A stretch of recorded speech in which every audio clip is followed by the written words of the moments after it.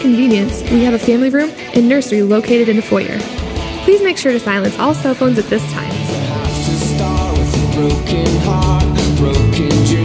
Every Sunday morning at 10 o'clock, we offer a wide range of Sunday school classes. One I want to highlight today is Discipleship 101. It's a class that I teach that just takes us back to the basics of discipleship. It will teach us how to grow in our walk with the Lord, and I want to encourage you guys to be part of this time each Sunday morning at 10 o'clock. Coming up October 26th, we're going to be having a live simulcast called The Fight.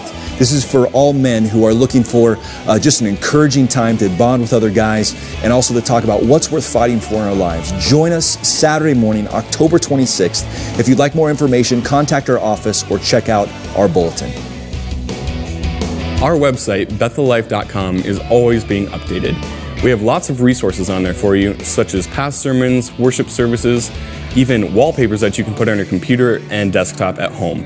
We have lots of things on there for you to submit prayer requests, and you can even sign up to volunteer at Bethel. We want to stay connected with you through all of our social media, such as Facebook, Twitter, and Instagram. You can find day to day updates on what is going on here at Bethel throughout the week. So we hope to connect with you at bethellife.com.